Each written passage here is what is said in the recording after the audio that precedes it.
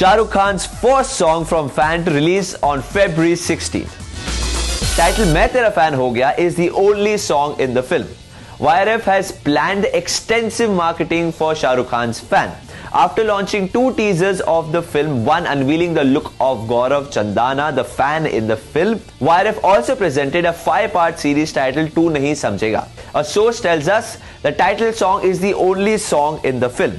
It will be used as a promotional song for fan. It is titled Main Tera Fan Ho Gaya. For the giving out details, the source added, it will have SRK, the fan as in Gaurav's character, dancing to the number.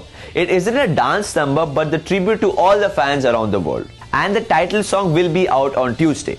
Yes, YRF is releasing the song before the trailer. It will be unveiled across all digital platforms on February 16th. That's the plan. The song has been composed by Vishal and Shekhar. We really can't wait to see the song. Let us know what you think.